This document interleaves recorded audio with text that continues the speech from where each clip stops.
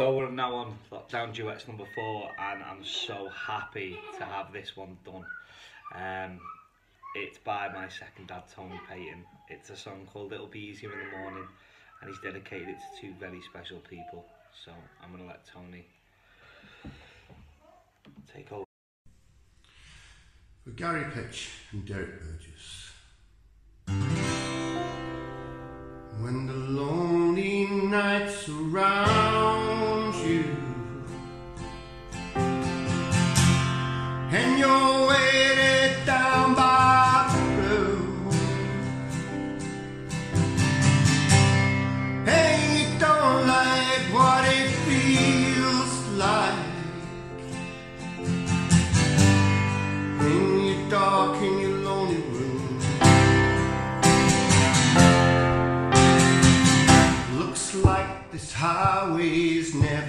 never